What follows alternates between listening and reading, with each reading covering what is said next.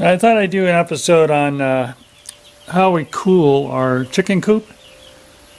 Uh, so you can see primarily we've got uh, a nice uh, ventilated uh, window here on the door. Um, got a, a vent window on this side. Couple uh, vents up on the top.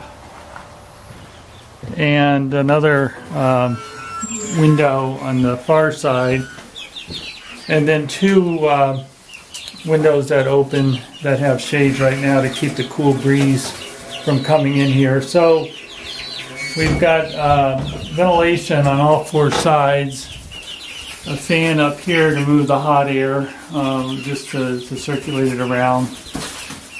Keeping, uh, you know, chicks is not a big problem. We've had nine, eight, excuse me, uh, 90 degree days in a row, with this coming week having a couple uh, that they're projecting to be over 100. So you can see in here now um, 70, uh, 69 degrees Fahrenheit.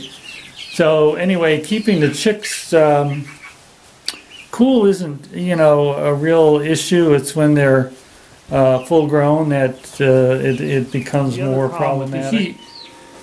As you can see, this uh, plastic uh, roofing material, these channels come uh, right off the plywood. So uh, that roofing is on the plywood, so as it heats up, the hot air comes right in here. So that's a real major issue. That's, that's what I'm going to really work on.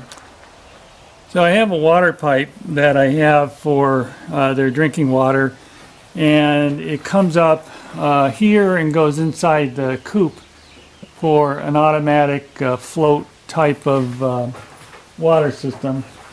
Uh, I have it right here. So it's one of these guys. So as it fills up, it automatically shuts off. And um, that'll be going back in there, but I'm going to come off of this pipe and do some misters on the roof to keep the temperature down. Okay, this is my PVC setup uh, to go up on the roof one section goes on the lower roof and then one section on the upper roof. And then that's going to go over the edge of the uh, the barn there. And the misters I don't know if you can see them here.